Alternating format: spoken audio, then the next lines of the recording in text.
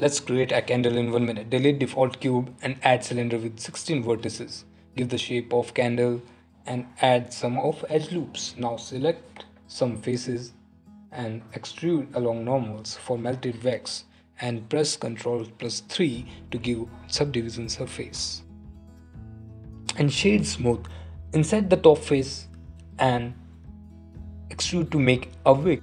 Give it a new material, add noise texture and a color ramp give it some yellowish color and tweak the value of subsurface to add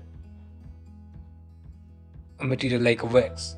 Now add a bump node to normal output of color ramp to height gives them some strength and then now import images as planes of flame with back, without background and adjust on wick.